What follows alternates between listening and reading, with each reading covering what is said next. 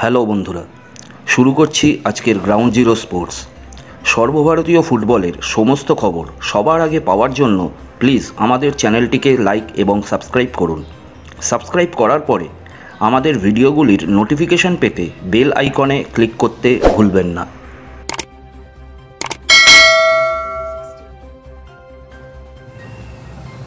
Spanish Tercera division, অর্থাৎ third division club Lorca এফসির ভারতীয় বংশোদ্ভূত তারকা ফরোয়ার্ড ঈশান পন্দিতা ক্লাব ছাড়ছেন। মোহনবাগান এটিকে ও ইস্টবেঙ্গলের পক্ষে যোগাযোগ করা হয়েছে তার সঙ্গে। দুটি ক্লাবই তাকে নেয়ার ব্যাপারে সমান আগ্রহী। যদিও ঈশানের বাবা নীরাজ পান্ডিতা টুইটারে জানিয়েছেন যে তার কাছে আগামী মরশুমে স্পেনের সেগুন্দা বি ডিভিশন, অর্থাৎ সেকেন্ড ডিভিশনের কিছু ক্লাবের ভালো অফার আছে। এখন দেখার ঈশান আগামী মরশুমে ফুটবলের মক্কা কলকাতায় আসেন কি না এবং এলেও মোহনবাগান এটিকে নাকি ইস্টবেঙ্গল কোন ক্লাব শেষ হাসিটা হাসে? ইস্টবেঙ্গল সমর্থকদের জন্যে একটা ভালো খবর আমরা দিতে চলেছি। গোয়ার ডেম্পো স্পোর্টস ক্লাবের তরুণ রাইট উইঙ্গার সুরাজ হাতকনকারের সঙ্গে ইস্টবেঙ্গল ক্লাবের কথাবার্তা অনেক দূরে গিয়েছে।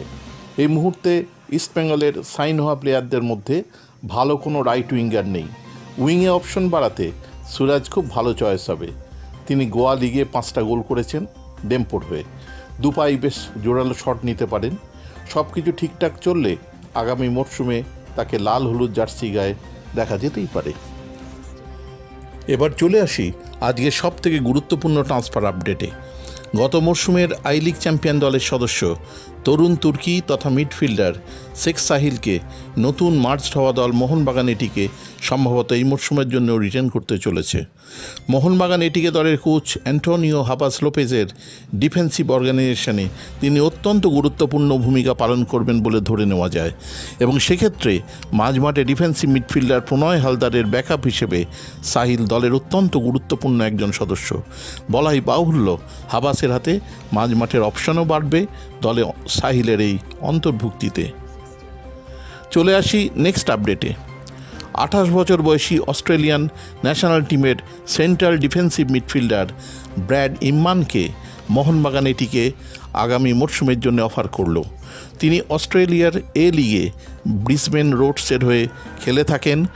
তার অস্ট্রেলিয়ার স্কটল্যান্ড এই দুই দেশেরই নাগরিকত্ব আছে। যেহেতু আগামী মরশুমে মোহনবাগান এটিকে এএফসি কাপ খেলবে, সেক্ষেত্রে ইমরান দলে অন্তর্ভুক্ত হলে হাবাসের হাতে ডেভিড উইলিয়ামস ছাড়াও আরও একজন এশিয়ান বিদেশির অপশন বেড়ে যাবে।